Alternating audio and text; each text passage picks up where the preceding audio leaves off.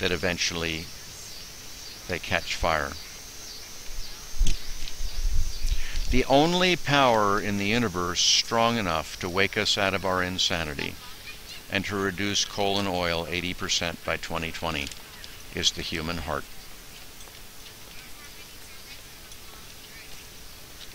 And my God, if people don't rise up and do that, and let the Derrick Jensens of the world instead ply tactics of hate, ply tactics of physical force, what insanity. Physical force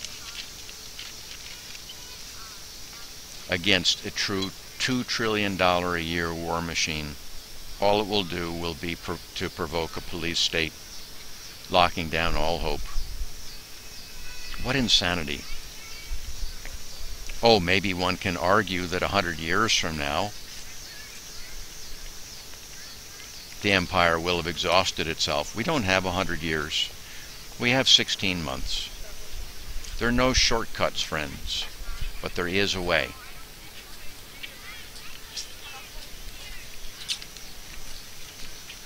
you.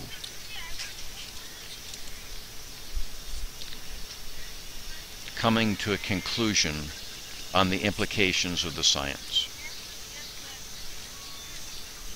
And all of you, each of you that does that, will come to see that the Titanic you are on is going to sink.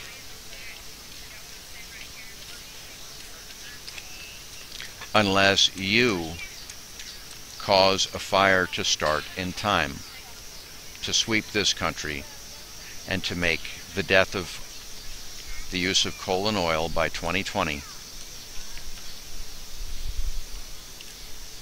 the issue of the 2012 election.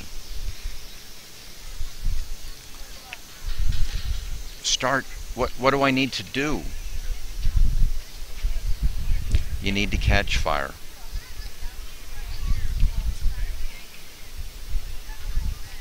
Was it Gandhi going to prison on a certain day or walking to a certain area of salt, etc., etc., etc., that liberated India? It was Gandhi catching fire and staying, staying afire. That fire is the highest form of intelligence in the universe. Some have called it God. Gandhi would, would have called it that. King would have called it that. At least the part of God that can be known by us. It is the highest form of human intelligence. It is the highest intelligence in the universe. It is the entire source of courage. It's the strongest motivation in the universe. And inasmuch as human beings are potentially the strongest force in the universe when acting out of the heart. The heart is the strongest force in the universe. It's what Napoleon referred to when he said, You know, Fontanes, what I don't understand what most amazes me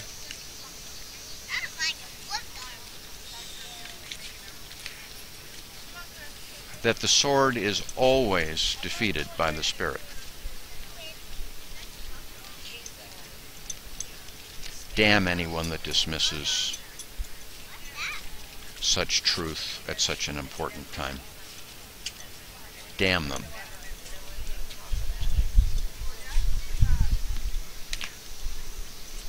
The core of the strong nonviolence is burning so brightly with humanity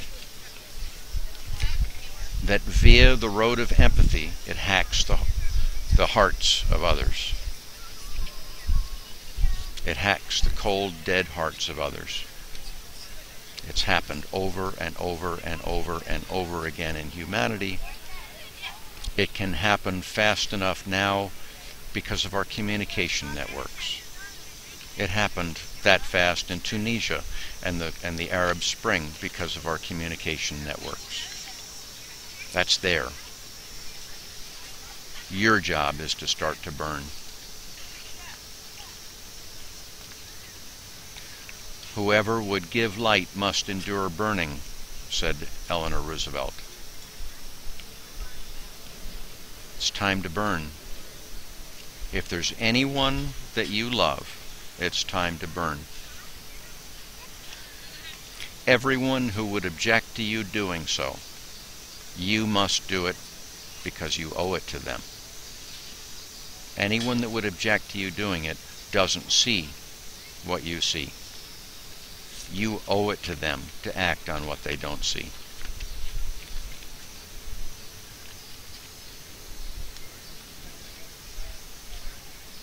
We have four months to start a fire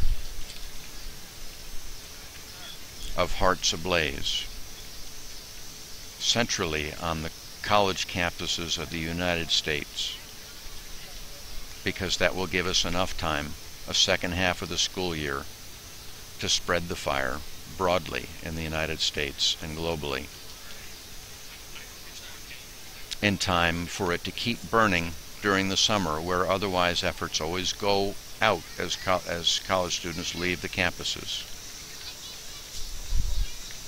and to culminate in the central issue of the 2012 election being a decision to save humanity rather than to let it go to hell.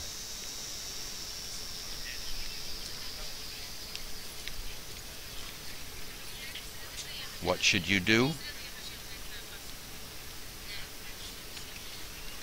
drop everything, devote yourself to Plan B 3.0, and make a decision in your heart as long as it takes. Keep at it until a decision is made in your heart. The science is hooey, or we have four months to start a fire centrally on our college campuses. And the only way a, start, a fire can start and spread is with a match that continues to burn long enough. And that's got to be your heart. And the way you can do that is by facing the horror that we want to deny. That's where the fuel is.